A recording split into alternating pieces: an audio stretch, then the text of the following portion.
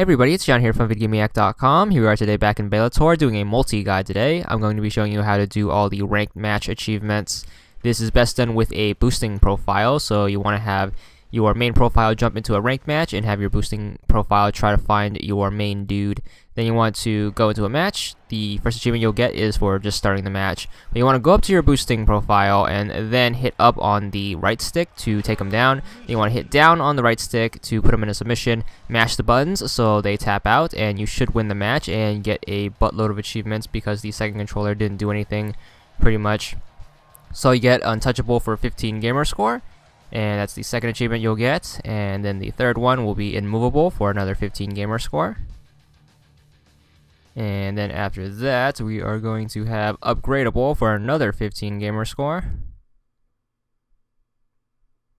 And then we're gonna have ungroundable for another 15 gamer score.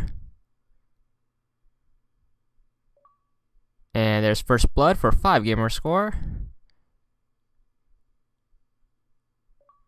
And there's record time win for 20 gamer score. I believe that's the last one. And now you can check your achievements. Open up the guide. Got a bunch of gamer score. You can check it out on here. So you have all these. You can read them if you want to. But yeah, that's just a bunch of gamer score. But we're missing one key one. Because you can't get an S ranking using a submission, we're going to have to jump in another ranked game. So you can just do a rematch and then you can fight the same boosting profile again, and this time you want to win by knockouts, so just punch them or kick them until they get knocked out.